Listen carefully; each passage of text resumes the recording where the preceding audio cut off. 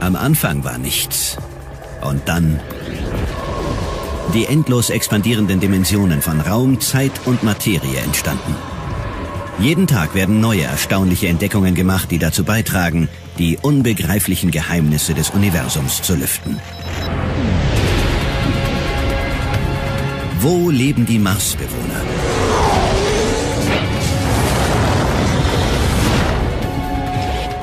Der lebensfeindlichen Oberfläche des roten Planeten? Oder in den erst kürzlich entdeckten Wasserquellen? Haben die dortigen Lebensformen einen apokalyptischen Angriff überlebt? Sind die Marsbewohner Mikroben? Oder Monster? Begleiten Sie uns auf der Suche nach den Antworten bei unserer Mission Mars.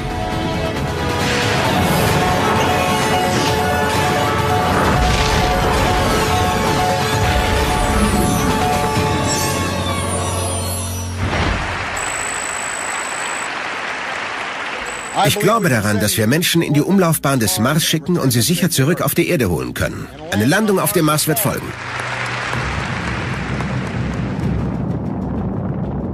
Wenn wir auf dem Mars landen, werden uns dort vielleicht bereits Milliarden von Mars-Bewohnern erwarten.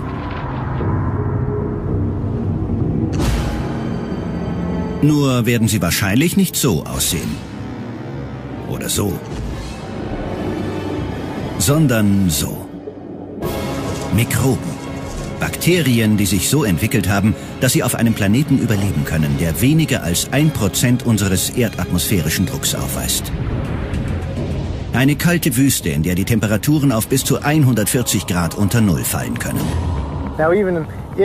Dass die Oberfläche so abstoßend ist, schließt nicht aus, dass sich etwas tiefer ein geeigneter Lebensraum für Mikroben befinden könnte. Gibt es Leben auf dem Mars? Noch vor zehn Jahren hätte ich darüber völlig anders gedacht. Wir haben sehr viel dazugelernt. Noch vor ein paar Jahrzehnten hätte man das für Science Fiction gehalten. Aber heute wissen wir, dass es auf der Erde Bakterien gibt, die im Umfeld von Thermalquellen am Meeresgrund Kolonien bilden. Andere gedeihen in liquiden Wasserblasen unter mehr als dreieinhalb Meter dickem Antarktiseis. Wir wissen jetzt so viel mehr über die auf der Erde lebenden Mikroben, dass ich annehme, dass sich auch auf dem Mars irgendeine Art von primitiver Lebensform entwickelt hat oder dort existiert haben könnte. Wie könnte Leben auf dem Mars entstanden sein? Vielleicht war der Auslöser ein Blitz? Frühjahr 2006. Einige Wissenschaftler bestreiten, dass es auf dem Mars Blitze gibt. Doch auf der Erde stationierte Mikrowellendetektoren entdecken in mit Reibungselektrizität aufgeladenen roten Staubstürmen blitzartige Vorgänge. Es sind keine Blitze, wie wir sie kennen und mit Regen assoziieren. Auf dem Mars regnet es nicht. Es sind sogenannte Trockenblitze. Diese Form von statischer Elektrizität könnte die Entstehung von Leben ausgelöst haben. Die Blitze stellen eine neue Energiequelle dar, die sowohl chemische Prozesse beeinflussen, als auch die Atmosphäre und bis zu einem gewissen Grad auch die Oberfläche verändern kann. In einem berühmten Experiment, bei dem man versucht, die Entstehung des Lebens auf der Erde nachzubilden, leitet man elektrischen Strom durch eine Mischung aus Wasser und gängigen Gasen. Dabei entsteht eine Art Suppe aus organischen Verbindungen und den Bausteinen des Lebens, Aminosäuren. Indem man Dinge mit elektrischen Entladungen beschießt, erschafft man zwar nicht notwendigerweise Leben, aber vielleicht die Vorbedingungen dafür. Aber förderten die Trockenblitze auf dem Mars tatsächlich die Entstehung von Leben? Oder zerstörten sie jede Chance darauf? Die Blitze könnten zur Entstehung von Wasserstoffperoxid führen. Daraus entstehende chemische Substanzen könnten jedes organische Material zerstören und die Oberfläche sterilisieren. Lebensspendendes Starthilfekabel oder tödlicher Elektroschock. Zu der Frage, was die Sandsturmblitze wirklich auf dem Mars bewirkt haben, ist das letzte Wort noch nicht gesprochen. In Bezug auf den Mars ist es immer das Gleiche. Sobald wir glauben, dass wir alles verstanden haben, entdecken wir neue Dinge, die uns erkennen lassen, dass wir noch sehr viele Rätsel zu lösen haben. Wie findet man winzige Bakterien, die mit bloßem Auge nicht zu erkennen sind und unter der Oberfläche eines Planeten leben, der zwischen 45 Millionen und 400 Millionen Kilometer von uns entfernt liegt? Die Lebensformen, die wohl am produktivsten sind, von denen man die größte Anzahl vorfinden würde, sind leider auch am schwierigsten zu finden. Wie beim Klettern mit Verbindungsseilen versuchen Forscher auf der Suche nach Leben auf dem Mars immer neue Verknüpfungen herzustellen. In der Hoffnung, dass sie in die richtige Richtung führen, werden Beobachtungen mit Schlussfolgerungen verknüpft. Laufen die Verbindungen ins Leere oder fehlen Fakten, muss man von neuem beginnen. Es ist schwierig, direkt nach Lebensformen zu suchen. Deshalb müssen wir zuerst herausfinden, ob lebensfreundliche Bedingungen vorliegen. Das heißt Orte, an denen Leben möglich ist. Und das Grundelement für Leben, wie wir es kennen, ist Wasser. Auf der Erde ist flüssiges Wasser die Voraussetzung allen Lebens, sei es auch nur ein kleiner Einschluss mitten in einem Gletscher. Man braucht Wasser in flüssiger Form, damit die Prozesse des Lebens stattfinden können. Auf den Aufnahmen der ersten Raumsonden schien der Mars nur ein toter roter Felsen zu sein. Seine dünne Atmosphäre bestand größtenteils aus Kohlendioxid. An den gefrorenen Polkappen schien das nicht anders zu sein. In den 1970er Jahren gingen wir davon aus, dass es auf dem Mars kein Wasser oder Leben geben könnte. Heute denken wir ganz anders darüber.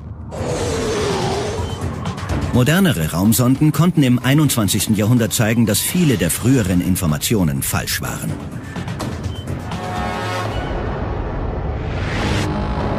Tatsächlich bestehen die Polkappen aus enormen Mengen Wasser.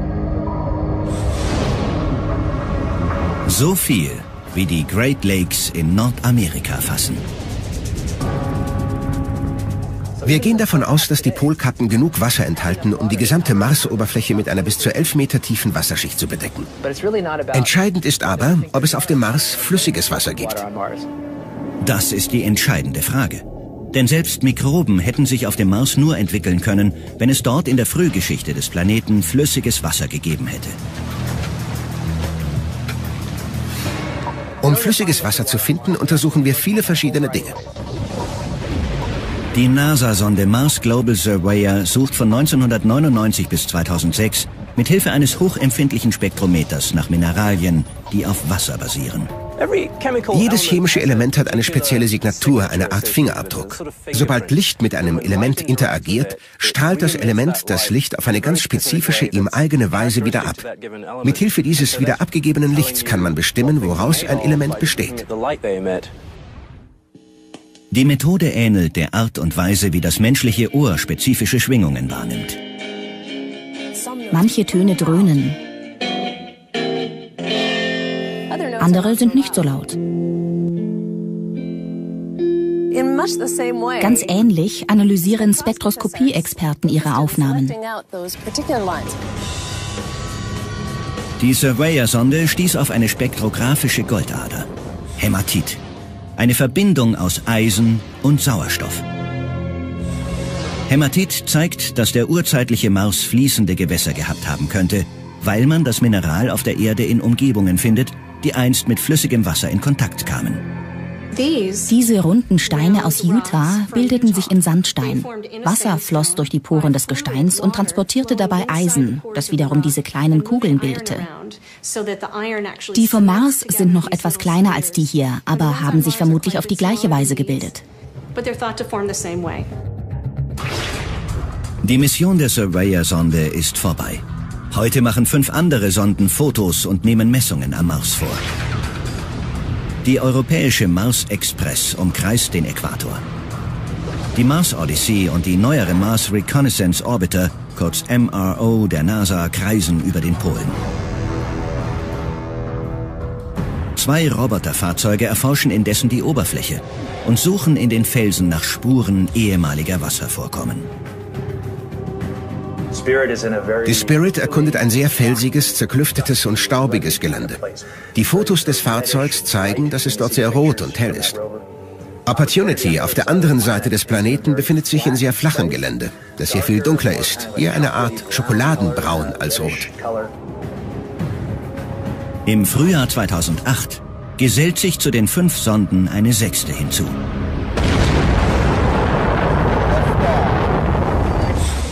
Die Phoenix Marslander der NASA. 25. Mai 2008. Während Männer und Frauen auf der Erde ängstlich auf ihre Monitore schauen, beendet die Phoenix Lander ihre neunmonatige Reise durch das All. Sie rast mit über 20.100 Stundenkilometern durch die Atmosphäre des Mars.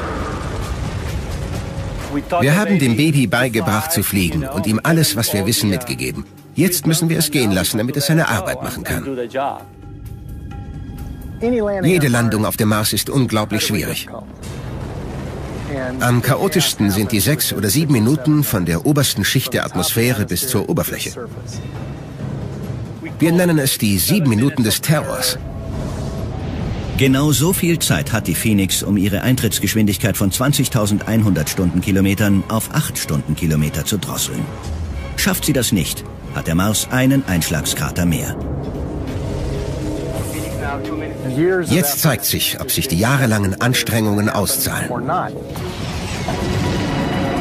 Der Fallschirm öffnet sich. Live eingefangen von der Mars Reconnaissance Orbiter Sonde.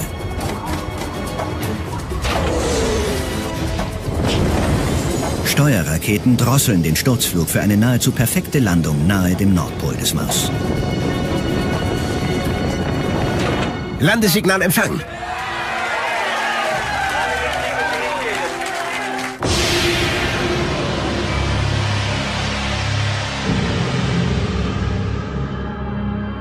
Die Phoenix wird unter der Oberfläche nach gefrorenem Wasser suchen. Aber hat die Sonde jetzt schon mehr gefunden, als man erwartet hatte? Ein Foto von einem der Beine des Landefahrzeugs scheint etwas zu zeigen, das eigentlich nicht da sein sollte. Es gibt neue Hinweise darauf, dass es auf dem Mars einst Leben gegeben haben könnte. Mineralvorkommen zeigen, dass einst Wasser auf der Oberfläche floss. NASA-Wissenschaftler suchen an allen denkbaren Stellen des Planeten nach Hinweisen auf Wasser. Dann, im Frühjahr 2008, werden sie an einem völlig unerwarteten Ort fündig. An einem der Landebeine der Phoenix Lander, die gerade am Nordpol des Mars angekommen ist, wird etwas Seltsames entdeckt. Einige Kollegen nehmen an, dass es sich um Wassertropfen handelt, was für so eine extrem kalte Umgebung recht ungewöhnlich ist.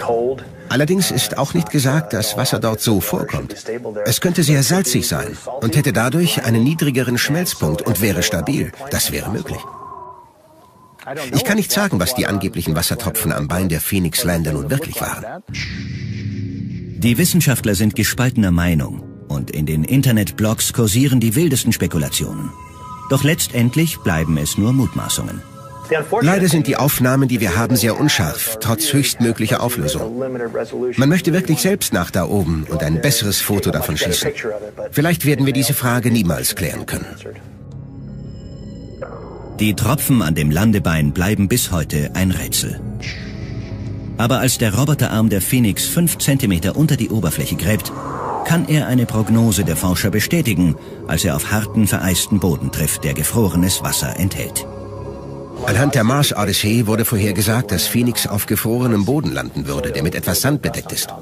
Phoenix landete, prüfte es und lieferte ein weiteres Kernstück unserer Forschung, eine echte Bodenprobe.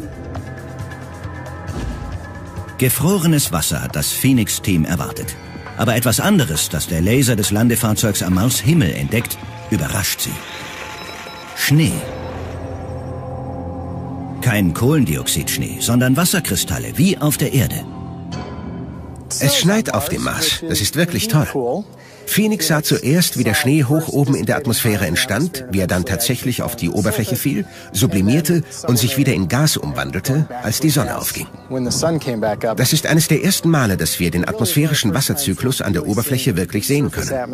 In diesem Fall von Gas zum Festkörper und vom festen Zustand zurück zum Gas.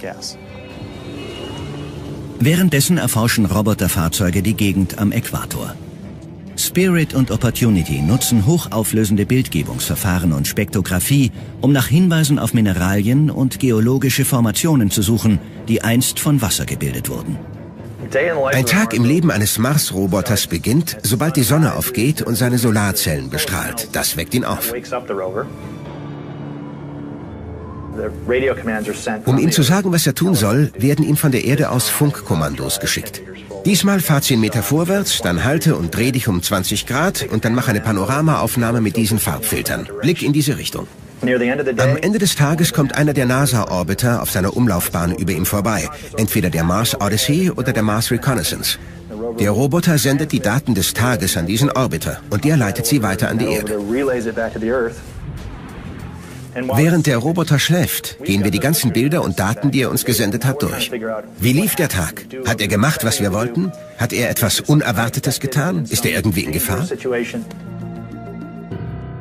Anfang 2008 signalisiert Spirit, dass es Probleme gibt. Sein rechtes Vorderrad steckt fest.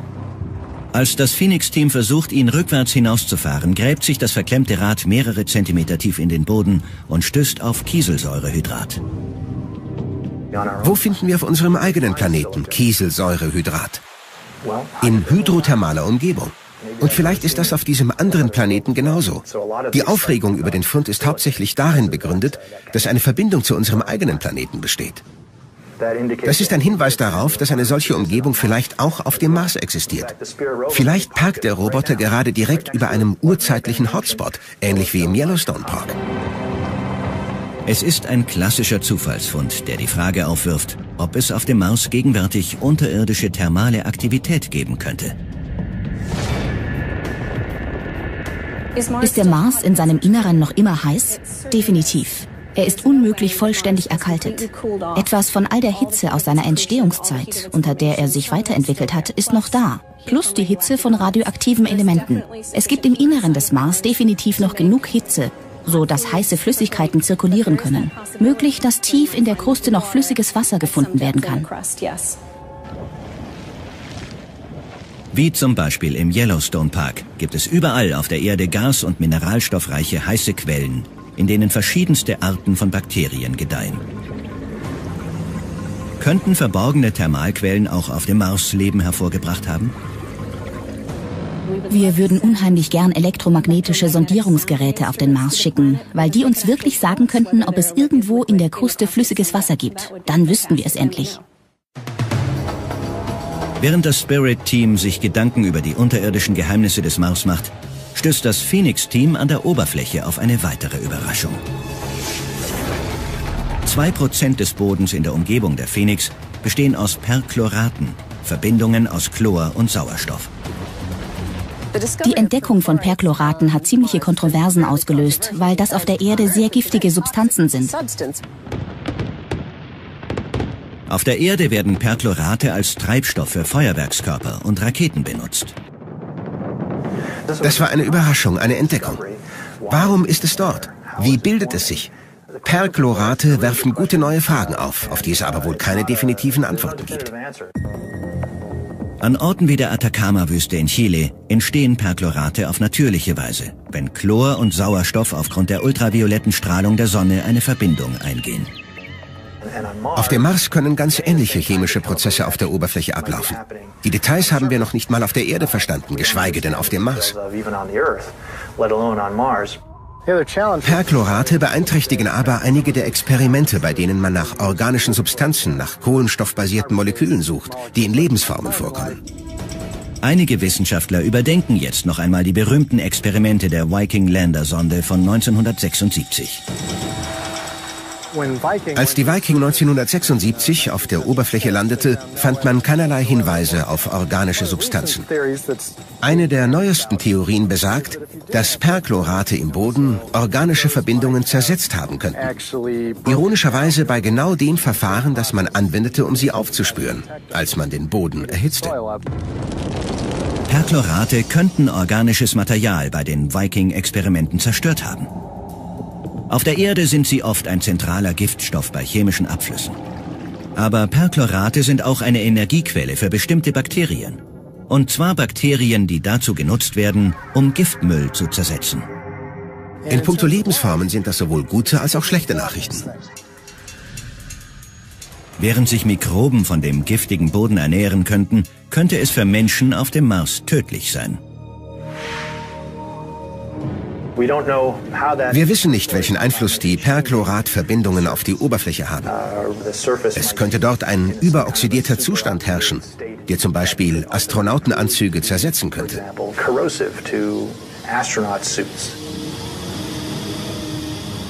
Eines ist sicher.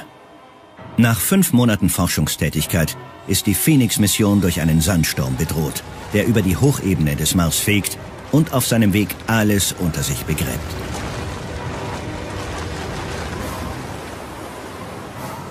In einem so heftigen Sturm ist die Phoenix Lander verloren. When NASA's Phoenix lander digs into frozen water on Mars, it finds new evidence that the red planet could once have harbored life. But in the autumn of 2008, Phoenix's own life is about to end.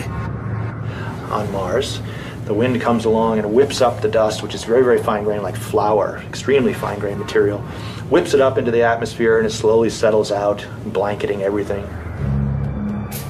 Roter Sand bedeckt die Solarzellenplatten der Phoenix. Das Sonnenlicht, ihre einzige Energiequelle, kommt nicht mehr durch. Die Phoenix Lander verbringt sehr viel Zeit damit, ihre Batterien wieder aufzuladen. Nachts wird es sehr kalt und sie muss die Heizgeräte durchlaufen lassen, um weiter zu funktionieren. Am 2. November 2008 fährt die Phoenix zum letzten Mal ihr System herunter. Als der martianische Winter immer härter wird, sammelt sich auf der Sonde gefrorenes Kohlendioxid an und schließt sie in ein Grab aus Trockeneis ein. Doch die gewonnenen Daten der Phoenix werden weiterhin analysiert. Zum Mars zu fliegen und dort Messungen an der Oberfläche vorzunehmen, detaillierte Daten über die Geschichte des Mars und die chemische Zusammensetzung der Oberfläche zu bekommen, war ein entscheidender Teil, um mit Sicherheit sagen zu können, dass einmal Wasser auf dem Mars existiert hat. Wasser ist eine Grundvoraussetzung des Lebens, aber laut jüngster Erkenntnisse nur eine von vielen Kräften, die den Mars geformt haben. Unser Wissen ist wie ein Footballspiel mit vier Spielzeiten. Der erste Lebensabschnitt, vor 4,6 Milliarden bis 3,2 Milliarden Jahren, ist turbulent. Wie die anderen Planeten formt sich Mars, als sich Gaswolken und Trümmer verbinden und dann zu einem felsigen Planeten abkühlen. Dann wird der Mars bombardiert und seine Oberfläche von Meteoriten gezeichnet. Viele Krater bildeten sich. Die gegen Ende dieser Periode entstandenen geologischen Besonderheiten deuten auf Wasser auf der Oberfläche hin. Zu den neuen Hinweisen gehört auch diese Reihe von Ausforschungen, die 2009 vom Mars Reconnaissance Orbiter der NASA fotografiert wurden. Zum ersten Mal hat man eindeutig Formationen eines Seeufers auf dem Mars entdeckt. Dies sind die Überreste eines Sees, der mehr als doppelt so groß wie der Bodensee war. Jeder Hinweis, dass es Wasser auf dem Mars gibt oder in seiner Geschichte gegeben hat, ist wichtig, um herauszufinden, ob wir wirklich allein im Universum sind. Manche Wissenschaftler sagen sogar, dass vor dreieinhalb Milliarden Jahren ein Ozean so groß wie der Atlantik ein Drittel des Mars bedeckte.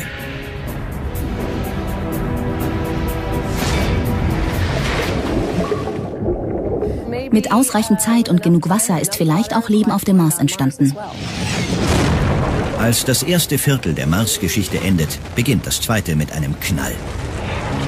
Vulkane gestalten den Planeten um. Es gab viele vulkanische Aktivitäten. Olympus Mons ist der größte Vulkan unseres Sonnensystems, also wissen wir, dass es dort in der Vergangenheit große Vulkane gab. Der Mars ist mit schwarzem vulkanischem Basalt bedeckt. Ähnlich dem Basalt, den man in der Umgebung hawaiianischer Vulkane findet. Chemische Stoffe wie Schwefel, die von den Vulkanen freigesetzt wurden, vermischten sich mit dem restlichen Wasser. Das Ergebnis war säurehaltig, wie der saure Regen auf der Erde. Gleichzeitig scheint die Atmosphäre geschrumpft und das Wasser an der Oberfläche verschwunden zu sein. Der Verlust von Atmosphäre bedeutete, dass flüssiges Wasser auf der Oberfläche des Mars nicht länger existieren konnte. Unsere Gewässer auf der Erdoberfläche existieren nur, weil der atmosphärische Druck von oben dagegen drückt. Alles Wasser auf dem Mars verdampft oder gefriert. Im dritten Viertel seiner Geschichte beginnt sich der Mars vermutlich durch Eisenoxid rot zu färben. Rost im Sand. Nimmt man frisches Vulkangestein auf Hawaii oder Island und lässt es in der Erdatmosphäre liegen, verfärbt es sich mit der Zeit rot oder braun. Es oxidiert. Das gleiche könnte auf dem Mars geschehen sein. Im letzten Viertel seiner Geschichte fällt der Mars in einen tiefen Kälteschlaf. Es beginnen sich große Gletscher zu formen, die neue Muster in die Becken und Krater graben.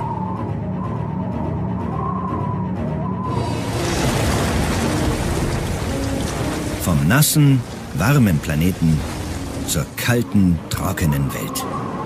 Das ist die Geschichte des Mars in Kurzform, laut der jüngsten Erkenntnisse. Er hatte eine dickere Atmosphäre, Wasser, vielleicht Regen, Schnee. Er hatte all die Sachen, die uns vertraut sind. Es ist faszinierend, dass wir mit diesen Missionen in die Vergangenheit reisen und einen frühen erdähnlichen Mars studieren können, der heute verschwunden ist. Für einstige Wasservorkommen gibt es überzeugende Anhaltspunkte. Aber dieses Satellitenbild von 2009 scheint etwas zu zeigen, das eigentlich unmöglich ist. Flüssiges Wasser, das über die Oberfläche strömt. Es könnte sein, dass Wasser, das bisher unterirdisch vorkam oder gefroren war, plötzlich hervorströmt und die Hänge der Krater hinabfließt.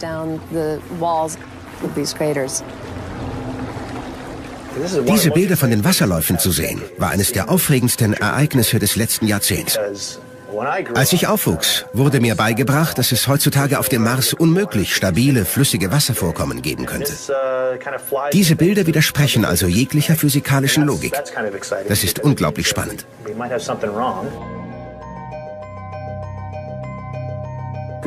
Anfangs vermutete man, dass es schmelzendes Eis war oder dass eine wassertragende Schicht an die Oberfläche kam.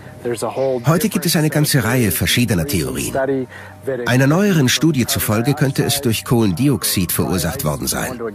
Das Trockeneis geht in den gasförmigen Zustand über, was wiederum den Sand gleitfähig macht, sodass er anfängt zu fließen. Aber offen gesagt, die Forschung dazu ist noch in vollem Gange.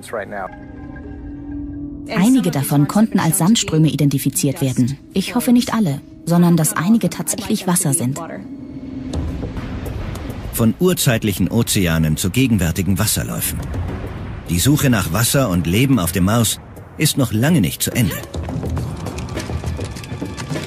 Es ist eine Suche, die wie der Pfad eines Kletterers auf einer unbekannten Route voller Fehlstarts und unerwarteter Umwege ist. Und was passierte, als dieses Foto, aufgenommen unweit vom Mars-Äquator, viele Menschen an das hier erinnert. Könnte es auf dem Mars einst Leben gegeben haben? Mineralische Hinweise gesammelt von Sonden wie der Spirit sind ermutigend. Aber sie können auch völlig überinterpretiert werden.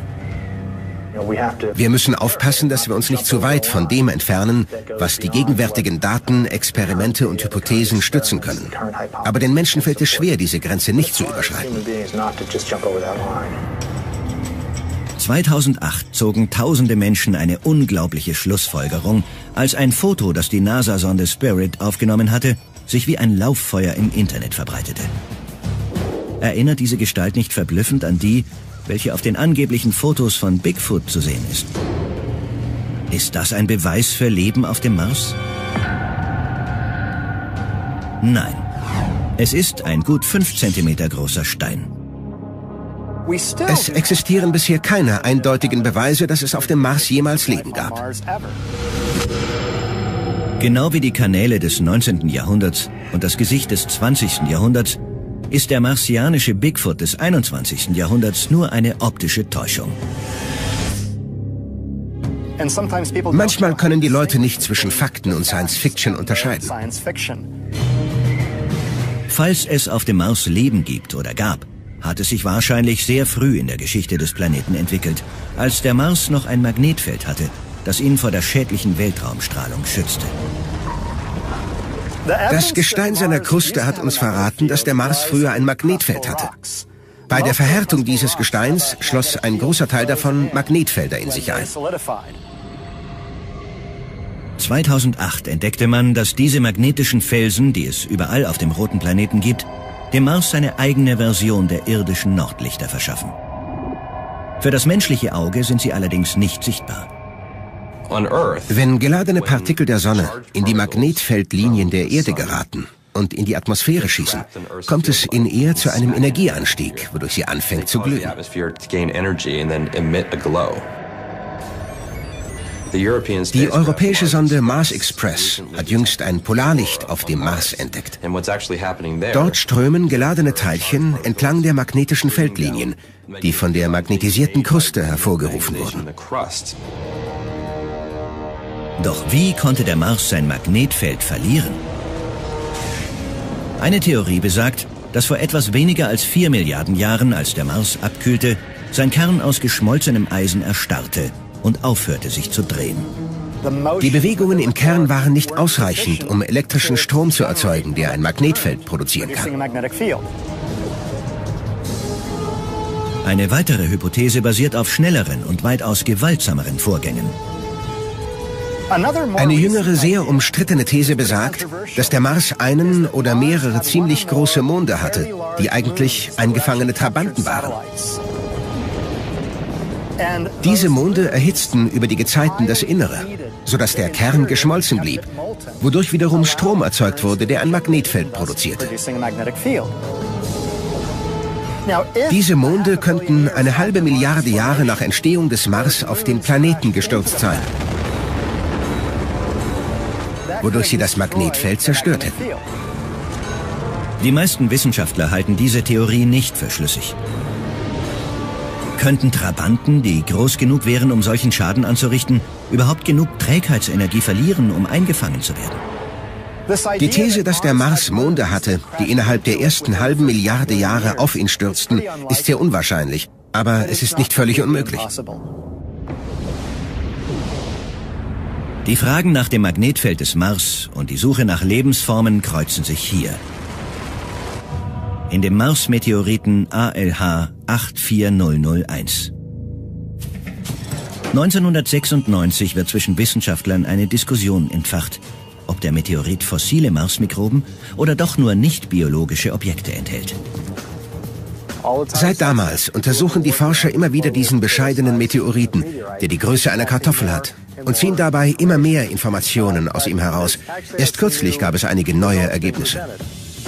Im April 2010 geben Forscher nach Untersuchungen mit neuen radiometrischen Instrumenten bekannt, dass die früheren Schätzungen über das Alter des Meteoriten falsch sind. Er ist in Wahrheit etwa eine halbe Milliarde Jahre jünger, als wir dachten.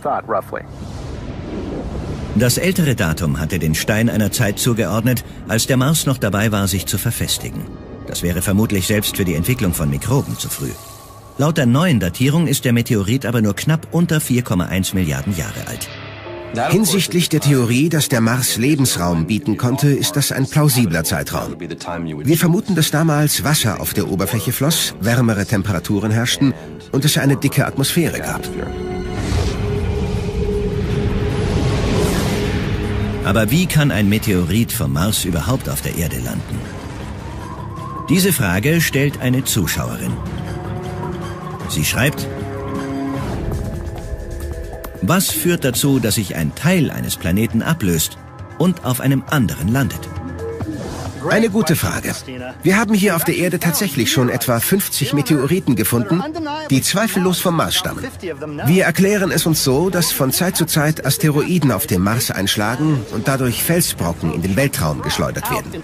Diese werden dann von der Schwerkraft der Erde angezogen und landen schließlich dort, wo wir sie finden. Auf diese Weise können wir hier auf der Erde Stücke vom Mars untersuchen.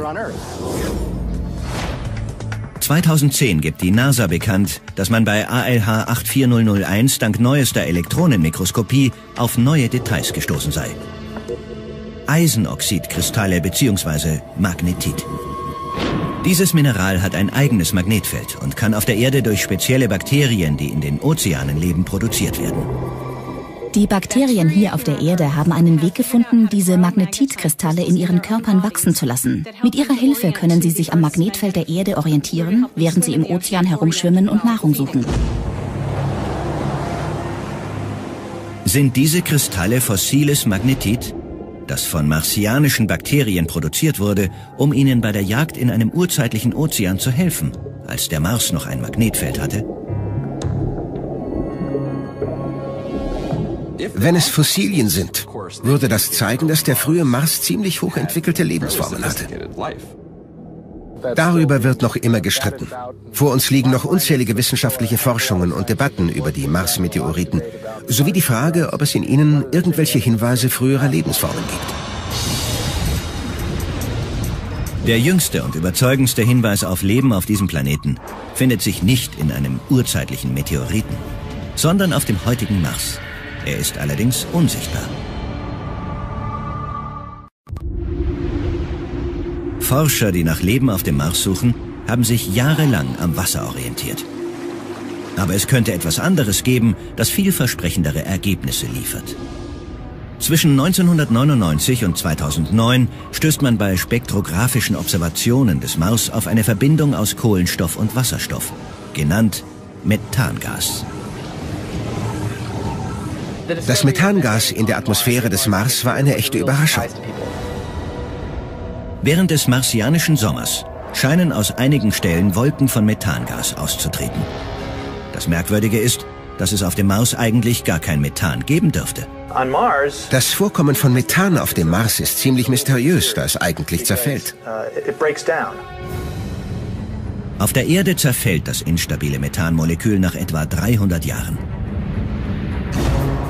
Auf dem Mars zerfällt es aufgrund der hohen Dosen ultravioletter Strahlung und vielleicht auch wegen der kürzlich entdeckten Trockenblitze in der dünnen, staubigen Atmosphäre, bereits nach wenigen Monaten. Irgendetwas muss also offensichtlich für Nachschub sorgen. Das Methan zerfällt und dann entsteht wieder Neues. Woher kommt das Methan auf dem Mars? Auf der Erde produzieren Vulkane riesige Mengen dieses Gases. Der Mars beherbergt den Olympus Mons, den größten Vulkan unseres Sonnensystems. Doch der ist seit Millionen von Jahren nicht ausgebrochen. Was könnte noch die Ursache sein? Methan kann unterirdisch produziert werden, wenn Basaltgestein in ein Mineral namens Serpentin umgewandelt wird. Methan tritt dann durch den Boden aus und gelangt so in die Atmosphäre. Aber dieser Prozess erfordert heißes flüssiges Wasser, das man bisher weder auf der Oberfläche noch im Inneren des Planeten finden konnte. Es könnte aktive Vulkane auf dem Mars geben, von denen wir aber nichts wissen. Das wäre interessant. Es könnten auch unterirdisch ablaufende chemische Prozesse mit flüssigem Wasser sein. Oder es könnte biologische Ursachen haben. Auf der Erde stammen 90 Prozent des Methans von Bakterien in Tieren und Pflanzen. Stammt das marsianische Methan vielleicht von unterirdischen Bakterienkolonien? Die Entdeckung von Methan auf dem Mars führte zu Schlagzeilen, dass wir jetzt definitiv Beweise für Leben auf dem roten Planeten gefunden hätten. Diverse Chatrooms im Internet befassten sich ausschließlich mit Debatten über mögliche Lebensformen. Die Entdeckung von Methan ist zwar interessant, doch sie bedeutet keineswegs, dass wir irgendwelche Wesen gefunden haben, die auf dem Mars herumlaufen. Das Methan weist auf irgendetwas hin und vielleicht handelt es sich dabei um eine Lebensform.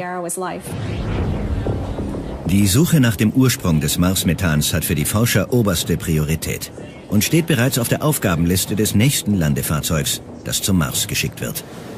Hinter mir sehen wir eine Testversion des Mars Science Laboratory Landefahrzeugs. Diese Sonde wird auf dem Mars Methanmessungen vornehmen. Sobald es dort gelandet ist, werden wir eine Antwort haben. Das Mars Science Laboratory mit dem Spitznamen Curiosity wird im Herbst 2011 starten und 2012 auf dem Mars landen. Es hat die Größe eines Kleinwagens und wird eine faszinierende neue Landungstechnik nutzen, den Sky Crane. Gut 18 Meter über dem Boden wird das Landefahrzeug von der Landestufe abgetrennt und an Winden, dem sogenannten Geschirr, langsam auf den Boden herabgelassen. Sobald die Landestufe das Signal bekommt, dass die Räder des Fahrzeugs den Boden berühren, kappt sie diese Kabel, fliegt davon und zerschellt in sicherer Entfernung. Und das Fahrzeug kann in aller Ruhe damit beginnen, seine Arbeit zu machen. Auf der Edwards Air Force Base in Kalifornien wird das für eine Skycrane-Landung essentielle Hochfrequenzradar auf einen Helikopter montiert, um einen Testlauf zu starten. Wir führen Simulationen und Analysen durch, um alle erdenklichen Möglichkeiten zu testen. Dazu zählen verschiedene Landeanflugswinkel oder die Lagestabilität des Fallschirms. Während des Eintritts, des Anflugs und der Landung sagt uns das Radar, wo genau der Boden ist und wie schnell wir sind. Diese Informationen werden vom Kontrollsystem genutzt, um die Schubtriebwerke zu steuern und sicherzustellen, dass wir eine schöne, sanfte Landung hinbekommen.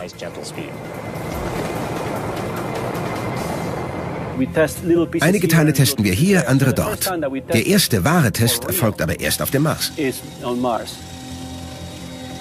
Die wichtigste Aufgabe des Mars Science Laboratory ist es, nach Anzeichen urzeitlicher Lebensräume zu suchen. Deshalb wird sich das Landefahrzeug in Bereiche begeben, die in der Vergangenheit unter Wasser lagen und vielleicht organische Substanzen eingeschlossen haben.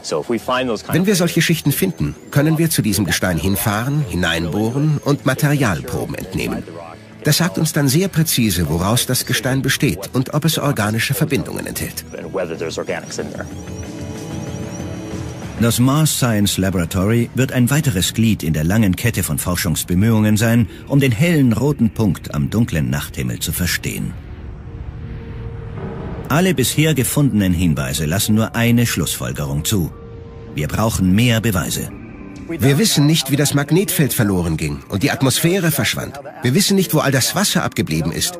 Wir wissen nicht, ob das Methan von Lebensformen produziert wird oder nur durch gewöhnliche abiotische chemische Reaktionen entsteht. Vielleicht werden die Fragen, die das 19. und 20. Jahrhundert noch vor Rätsel stellten, im 21. Jahrhundert endlich beantwortet werden. Ich habe fünf andere Mars-Forscher gefragt, wie hoch ihrer Meinung nach die Chance ist, dass auf dem Mars jemals Leben entstanden ist. Vier von uns meinten, dass es eine mehr als 90-prozentige Chance gibt, dass es auf dem Mars irgendwann Leben gab oder vielleicht sogar jetzt gibt. Zwei von uns meinten, dass sie unter 15 Prozent liegt. Die nächste Frage war, wenn Sie meinen, dass die Chance unter 15 Prozent liegt, lohnt es sich dann wirklich danach zu suchen? Sie antworteten sofort, natürlich. Ich glaube nicht, dass Landefahrzeuge und Raumsonden auf dem Mars Leben finden werden. Meiner Meinung nach braucht man dafür Menschen. Und ich glaube, dass eines Tages Menschen auf dem Mars landen werden. Sie werden dort graben, bohren und sich von ihrer Intuition leiten lassen. So werden sie die Teile dieses sehr komplizierten Puzzles zusammensetzen. Ich bin optimistisch, dass wir Hinweise auf vergangene oder gegenwärtige Lebensformen finden werden. Am Anfang war nichts. Und dann die endlos expandierenden Dimensionen von Raum, Zeit und Materie entstanden. Jeden Tag werden neue erstaunliche Entdeckungen gemacht, die dazu beitragen, die unbegreiflichen Geheimnisse des Universums zu lüften. Wo leben die Marsbewohner?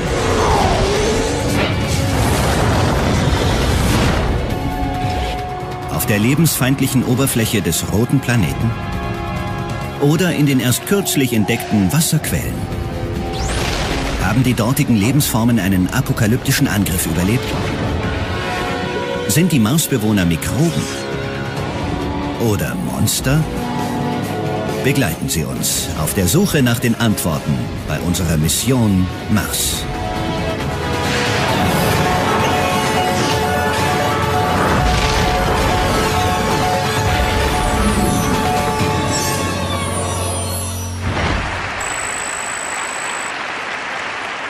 Ich glaube daran, dass wir Menschen in die Umlaufbahn des Mars schicken und sie sicher zurück auf die Erde holen können. Eine Landung auf dem Mars wird folgen. Wenn wir auf dem Mars landen,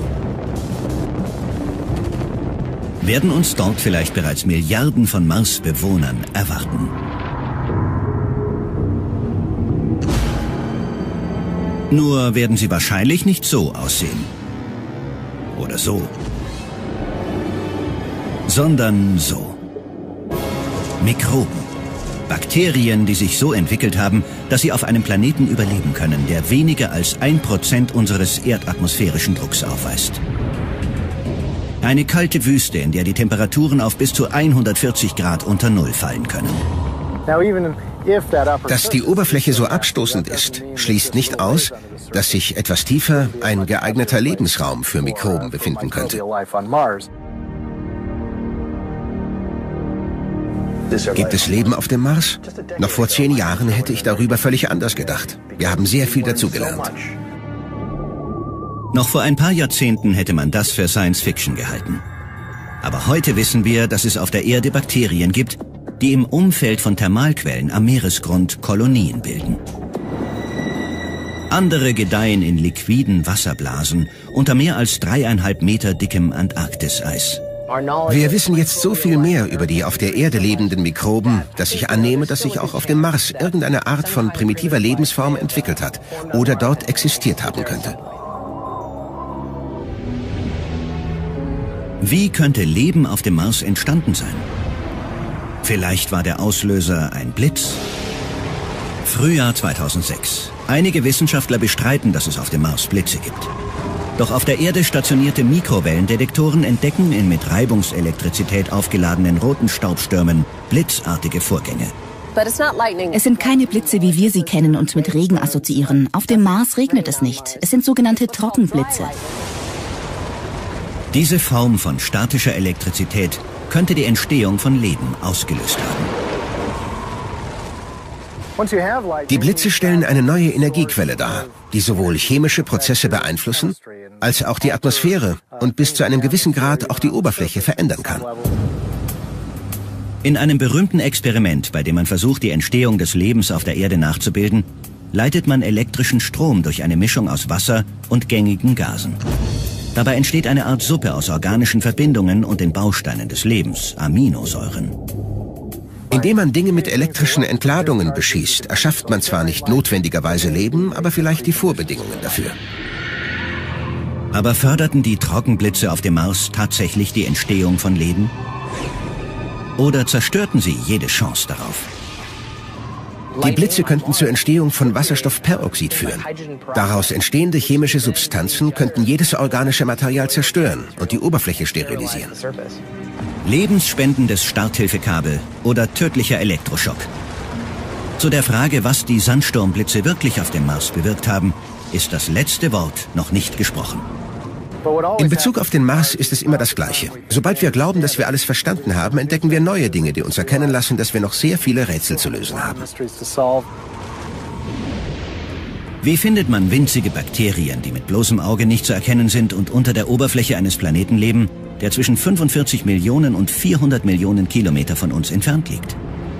Die Lebensformen, die wohl am produktivsten sind, von denen man die größte Anzahl vorfinden würde, sind leider auch am schwierigsten zu finden. Wie beim Klettern mit Verbindungsseilen versuchen Forscher auf der Suche nach Leben auf dem Mars immer neue Verknüpfungen herzustellen. In der Hoffnung, dass sie in die richtige Richtung führen, werden Beobachtungen mit Schlussfolgerungen verknüpft. Laufen die Verbindungen ins Leere oder fehlen Fakten, muss man von neuem beginnen. Es ist schwierig, direkt nach Lebensformen zu suchen. Deshalb müssen wir zuerst herausfinden, ob lebensfreundliche Bedingungen vorliegen. Das heißt Orte, an denen Leben möglich ist. Und das Grundelement für Leben, wie wir es kennen, ist Wasser. Auf der Erde ist flüssiges Wasser die Voraussetzung allen Lebens sei es auch nur ein kleiner Einschluss mitten in einem Gletscher. Man braucht Wasser in flüssiger Form, damit die Prozesse des Lebens stattfinden können. Auf den Aufnahmen der ersten Raumsonden schien der Mars nur ein toter roter Felsen zu sein. Seine dünne Atmosphäre bestand größtenteils aus Kohlendioxid. An den gefrorenen Polkappen schien das nicht anders zu sein. In den 1970er Jahren gingen wir davon aus, dass es auf dem Mars kein Wasser oder Leben geben könnte.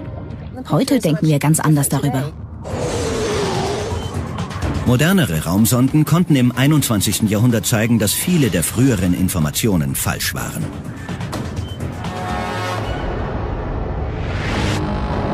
Tatsächlich bestehen die Polkappen aus enormen Mengen Wasser. So viel, wie die Great Lakes in Nordamerika fassen. Wir gehen davon aus, dass die Polkappen genug Wasser enthalten, um die gesamte Marsoberfläche mit einer bis zu elf Meter tiefen Wasserschicht zu bedecken. Entscheidend ist aber, ob es auf dem Mars flüssiges Wasser gibt. Das ist die entscheidende Frage. Denn selbst Mikroben hätten sich auf dem Mars nur entwickeln können, wenn es dort in der Frühgeschichte des Planeten flüssiges Wasser gegeben hätte. Um flüssiges Wasser zu finden, untersuchen wir viele verschiedene Dinge. Die NASA-Sonde Mars Global Surveyor sucht von 1999 bis 2006 mit Hilfe eines hochempfindlichen Spektrometers nach Mineralien, die auf Wasser basieren. Jedes chemische Element hat eine spezielle Signatur, eine Art Fingerabdruck. Sobald Licht mit einem Element interagiert, strahlt das Element das Licht auf eine ganz spezifische, ihm eigene Weise wieder ab. Mithilfe dieses wieder abgegebenen Lichts kann man bestimmen, woraus ein Element besteht. Die Methode ähnelt der Art und Weise, wie das menschliche Ohr spezifische Schwingungen wahrnimmt. Manche Töne dröhnen, andere sind nicht so laut. Ganz ähnlich analysieren Spektroskopie-Experten ihre Aufnahmen. Die Surveyor-Sonde stieß auf eine spektrographische Goldader. Hämatit. Eine Verbindung aus Eisen und Sauerstoff. Hämatit zeigt, dass der urzeitliche Mars fließende Gewässer gehabt haben könnte, weil man das Mineral auf der Erde in Umgebungen findet, die einst mit flüssigem Wasser in Kontakt kamen. Diese runden Steine aus Utah bildeten sich in Sandstein. Wasser floss durch die Poren des Gesteins und transportierte dabei Eisen, das wiederum diese kleinen Kugeln bildete. Die vom Mars sind noch etwas kleiner als die hier, aber haben sich vermutlich auf die gleiche Weise gebildet. Die Mission der Surveyor-Sonde ist vorbei. Heute machen fünf andere Sonden Fotos und nehmen Messungen am Mars vor. Die europäische Mars Express umkreist den Äquator. Die Mars Odyssey und die neuere Mars Reconnaissance Orbiter, kurz MRO der NASA, kreisen über den Polen. Zwei Roboterfahrzeuge erforschen indessen die Oberfläche und suchen in den Felsen nach Spuren ehemaliger Wasservorkommen. Die Spirit erkundet ein sehr felsiges, zerklüftetes und staubiges Gelände. Die Fotos des Fahrzeugs zeigen, dass es dort sehr rot und hell ist. Opportunity auf der anderen Seite des Planeten befindet sich in sehr flachem Gelände, das hier viel dunkler ist, eher eine Art Schokoladenbraun als rot.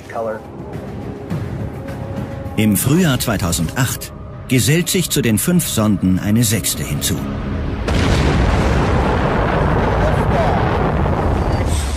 Die Phoenix Marslander der NASA. 25. Mai 2008.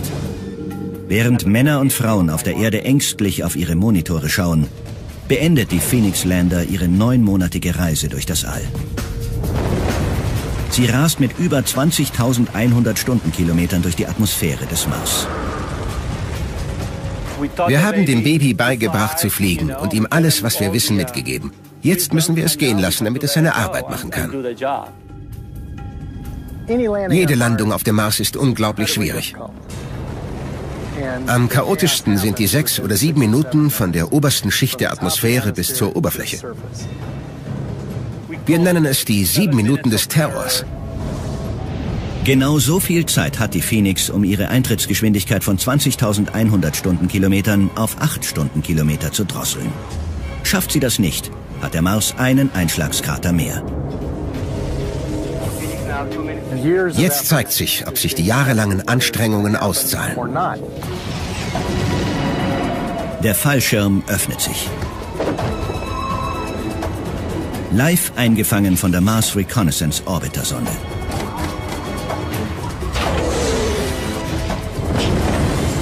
Steuerraketen drosseln den Sturzflug für eine nahezu perfekte Landung nahe dem Nordpol des Mars. Landesignal empfangen.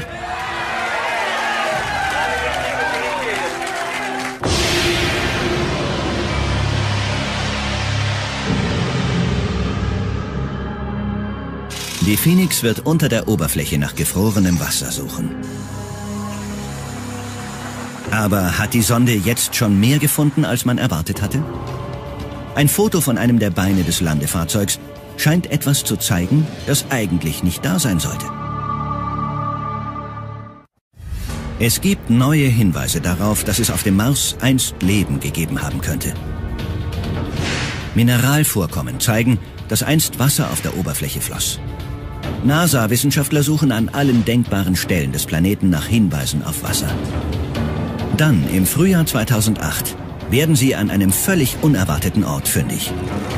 An einem der Landebeine der Phoenix Lander, die gerade am Nordpol des Mars angekommen ist, wird etwas Seltsames entdeckt. Einige Kollegen nehmen an, dass es sich um Wassertropfen handelt, was für so eine extrem kalte Umgebung recht ungewöhnlich ist. Allerdings ist auch nicht gesagt, dass Wasser dort so vorkommt. Es könnte sehr salzig sein und hätte dadurch einen niedrigeren Schmelzpunkt und wäre stabil. Das wäre möglich.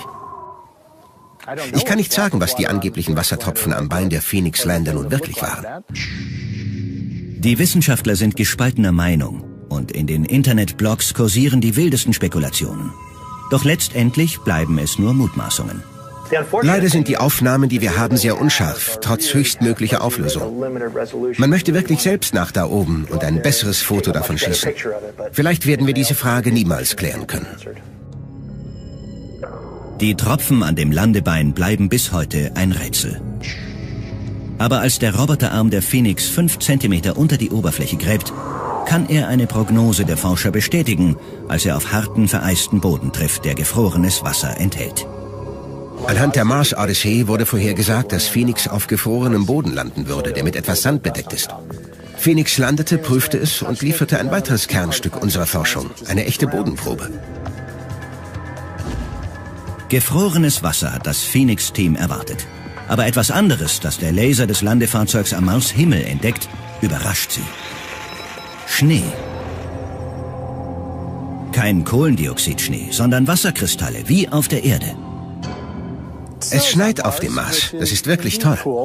Phoenix sah zuerst, wie der Schnee hoch oben in der Atmosphäre entstand, wie er dann tatsächlich auf die Oberfläche fiel, sublimierte und sich wieder in Gas umwandelte, als die Sonne aufging. Das ist eines der ersten Male, dass wir den atmosphärischen Wasserzyklus an der Oberfläche wirklich sehen können. In diesem Fall von Gas zum Festkörper und vom festen Zustand zurück zum Gas. Währenddessen erforschen Roboterfahrzeuge die Gegend am Äquator. Spirit und Opportunity nutzen hochauflösende Bildgebungsverfahren und Spektrographie, um nach Hinweisen auf Mineralien und geologische Formationen zu suchen, die einst von Wasser gebildet wurden. Ein Tag im Leben eines Mars-Roboters beginnt, sobald die Sonne aufgeht und seine Solarzellen bestrahlt. Das weckt ihn auf. Um ihm zu sagen, was er tun soll, werden ihm von der Erde aus Funkkommandos geschickt. Diesmal fahr 10 Meter vorwärts, dann halte und dreh dich um 20 Grad und dann mach eine Panoramaaufnahme mit diesen Farbfiltern. Blick in diese Richtung. Am Ende des Tages kommt einer der NASA-Orbiter auf seiner Umlaufbahn über ihm vorbei. Entweder der Mars Odyssey oder der Mars Reconnaissance. Der Roboter sendet die Daten des Tages an diesen Orbiter und der leitet sie weiter an die Erde. Während der Roboter schläft, gehen wir die ganzen Bilder und Daten, die er uns gesendet hat, durch. Wie lief der Tag? Hat er gemacht, was wir wollten? Hat er etwas Unerwartetes getan? Ist er irgendwie in Gefahr? Anfang 2008 signalisiert Spirit, dass es Probleme gibt. Sein rechtes Vorderrad steckt fest. Als das Phoenix-Team versucht, ihn rückwärts hinauszufahren, gräbt sich das verklemmte Rad mehrere Zentimeter tief in den Boden und stößt auf Kieselsäurehydrat. Wo finden wir auf unserem eigenen Planeten Kieselsäurehydrat? In hydrothermaler Umgebung. Und vielleicht ist das auf diesem anderen Planeten genauso. Die Aufregung über den Fund ist hauptsächlich darin begründet, dass eine Verbindung zu unserem eigenen Planeten besteht. Das ist ein Hinweis darauf, dass eine solche Umgebung vielleicht auch auf dem Mars existiert. Vielleicht parkt der Roboter gerade direkt über einem urzeitlichen Hotspot, ähnlich wie im Yellowstone Park. Es ist ein klassischer Zufallsfund, der die Frage aufwirft, ob es auf dem Mars gegenwärtig unterirdische thermale Aktivität geben könnte. Ist der Mars in seinem Inneren noch immer heiß? Definitiv. Er ist unmöglich vollständig erkaltet.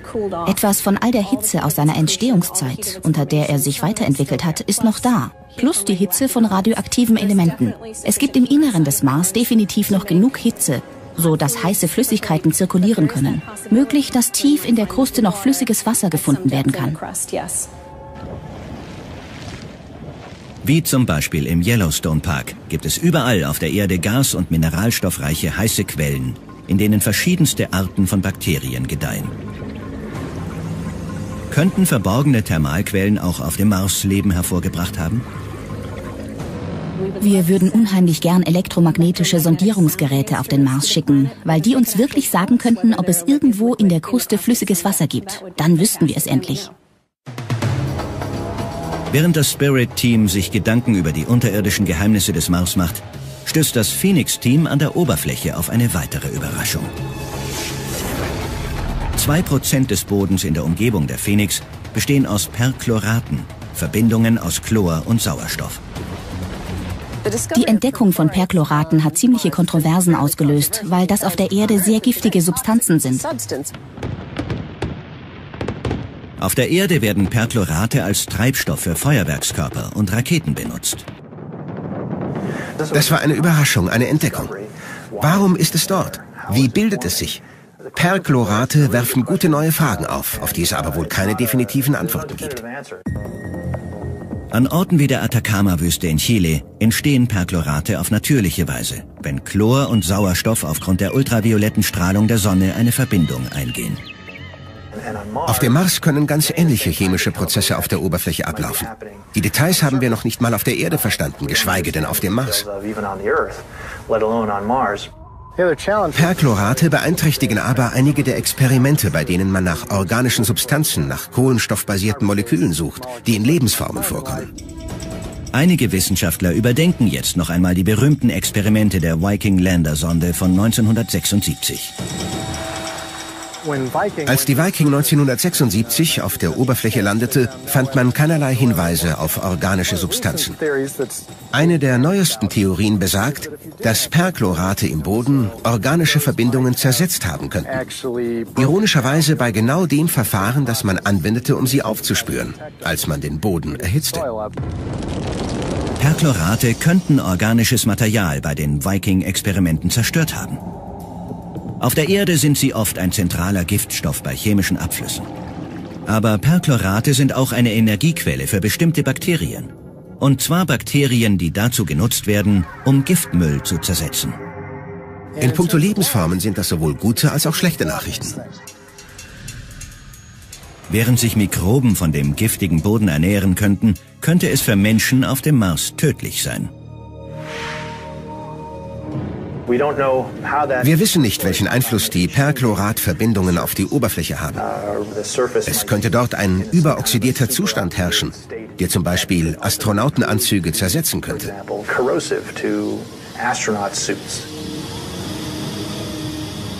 Eines ist sicher. Nach fünf Monaten Forschungstätigkeit ist die Phoenix-Mission durch einen Sandsturm bedroht, der über die Hochebene des Mars fegt und auf seinem Weg alles unter sich begräbt.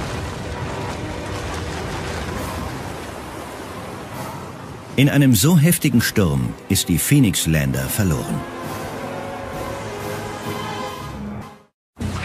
When NASA's Phoenix lander digs into frozen water on Mars, it finds new evidence that the red planet could once have harbored life. But in the autumn of 2008, Phoenix's own life is about to end. On Mars, the wind comes along and whips up the dust, which is very, very fine grained, like flour, extremely fine grained material, whips it up into the atmosphere and it slowly settles out, blanketing everything. Roter Sand bedeckt die Solarzellenplatten der Phoenix. Das Sonnenlicht, ihre einzige Energiequelle, kommt nicht mehr durch. Die Phoenix Lander verbringt sehr viel Zeit damit, ihre Batterien wieder aufzuladen. Nachts wird es sehr kalt und sie muss die Heizgeräte durchlaufen lassen, um weiter zu funktionieren. Am 2. November 2008 fährt die Phoenix zum letzten Mal ihr System herunter. Als der martianische Winter immer härter wird, sammelt sich auf der Sonde gefrorenes Kohlendioxid an und schließt sie in ein Grab aus Trockeneis ein. Doch die gewonnenen Daten der Phoenix werden weiterhin analysiert. Zum Mars zu fliegen und dort Messungen an der Oberfläche vorzunehmen, detaillierte Daten über die Geschichte des Mars und die chemische Zusammensetzung der Oberfläche zu bekommen, war ein entscheidender Teil, um mit Sicherheit sagen zu können, dass einmal Wasser auf dem Mars existiert hat. Wasser ist eine Grundvoraussetzung des Lebens, aber laut jüngster Erkenntnisse nur eine von vielen Kräften, die den Mars geformt haben. Unser Wissen ist wie ein Footballspiel mit vier Spielzeiten. Der erste Lebensabschnitt, vor 4,6 Milliarden bis 3,2 Milliarden Jahren, ist turbulent. Wie die anderen Planeten formt sich Mars, als sich Gaswolken und Trümmer verbinden und dann zu einem felsigen Planeten abkühlen. Dann wird der Mars bombardiert und seine Oberfläche von Meteoriten gezeichnet. Viele Krater bildeten sich.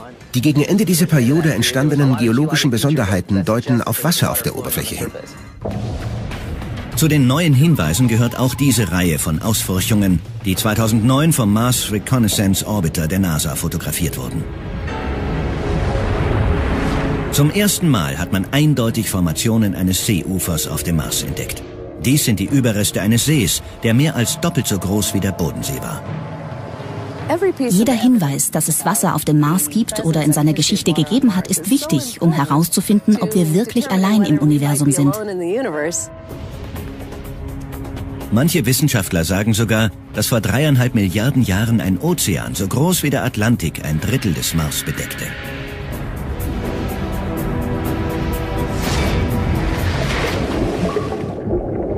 Mit ausreichend Zeit und genug Wasser ist vielleicht auch Leben auf dem Mars entstanden. Als das erste Viertel der Mars-Geschichte endet, beginnt das zweite mit einem Knall. Vulkane gestalten den Planeten um. Es gab viele vulkanische Aktivitäten. Olympus Mons ist der größte Vulkan unseres Sonnensystems, also wissen wir, dass es dort in der Vergangenheit große Vulkane gab. Der Mars ist mit schwarzem vulkanischem Basalt bedeckt. Ähnlich dem Basalt, den man in der Umgebung hawaiianischer Vulkane findet. Chemische Stoffe wie Schwefel, die von den Vulkanen freigesetzt wurden, vermischten sich mit dem restlichen Wasser. Das Ergebnis war säurehaltig, wie der saure Regen auf der Erde. Gleichzeitig scheint die Atmosphäre geschrumpft und das Wasser an der Oberfläche verschwunden zu sein. Der Verlust von Atmosphäre bedeutete, dass flüssiges Wasser auf der Oberfläche des Mars nicht länger existieren konnte. Unsere Gewässer auf der Erdoberfläche existieren nur, weil der atmosphärische Druck von oben dagegen drückt. Alles Wasser auf dem Mars verdampft oder gefriert. Im dritten Viertel seiner Geschichte beginnt sich der Mars vermutlich durch Eisenoxid rot zu färben. Rost im Sand.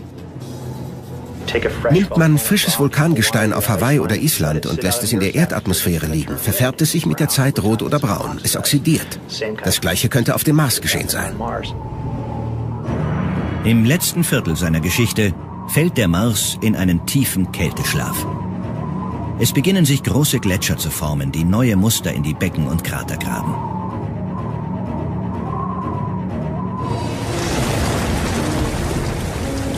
Vom nassen, warmen Planeten zur kalten, trockenen Welt. Das ist die Geschichte des Mars in Kurzform, laut der jüngsten Erkenntnisse. Er hatte eine dickere Atmosphäre, Wasser, vielleicht Regen, Schnee. Er hatte all die Sachen, die uns vertraut sind. Es ist faszinierend, dass wir mit diesen Missionen in die Vergangenheit reisen und einen frühen erdähnlichen Mars studieren können, der heute verschwunden ist. Für einstige Wasservorkommen gibt es überzeugende Anhaltspunkte. Aber dieses Satellitenbild von 2009 scheint etwas zu zeigen, das eigentlich unmöglich ist. Flüssiges Wasser, das über die Oberfläche strömt. Es könnte sein, dass Wasser, das bisher unterirdisch vorkam oder gefroren war, plötzlich hervorströmt und die Hänge der Krater hinabfließt.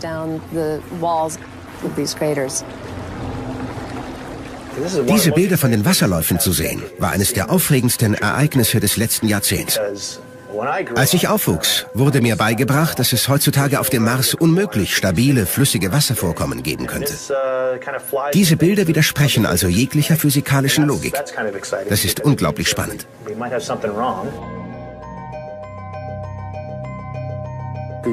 Anfangs vermutete man, dass es schmelzendes Eis war oder dass eine wassertragende Schicht an die Oberfläche kam.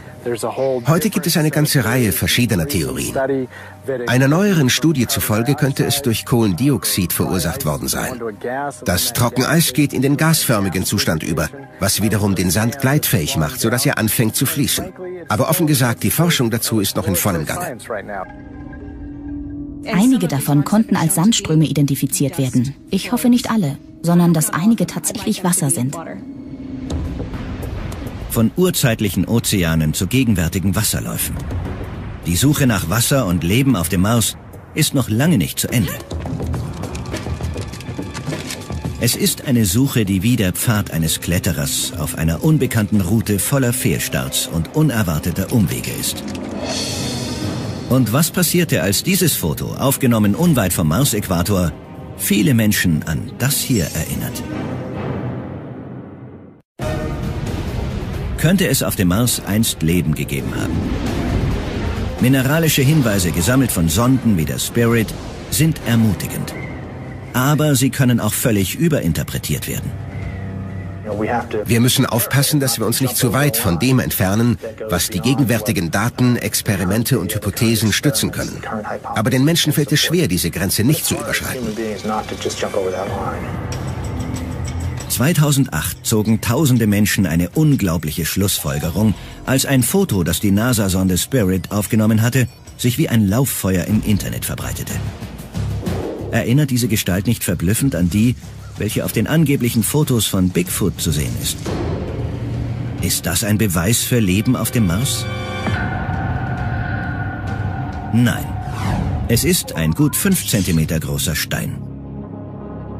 Es existieren bisher keine eindeutigen Beweise, dass es auf dem Mars jemals Leben gab. Genau wie die Kanäle des 19. Jahrhunderts und das Gesicht des 20. Jahrhunderts ist der martianische Bigfoot des 21. Jahrhunderts nur eine optische Täuschung. Manchmal können die Leute nicht zwischen Fakten und Science Fiction unterscheiden. Falls es auf dem Mars Leben gibt oder gab, hat es sich wahrscheinlich sehr früh in der Geschichte des Planeten entwickelt, als der Mars noch ein Magnetfeld hatte, das ihn vor der schädlichen Weltraumstrahlung schützte. Das Gestein seiner Kruste hat uns verraten, dass der Mars früher ein Magnetfeld hatte.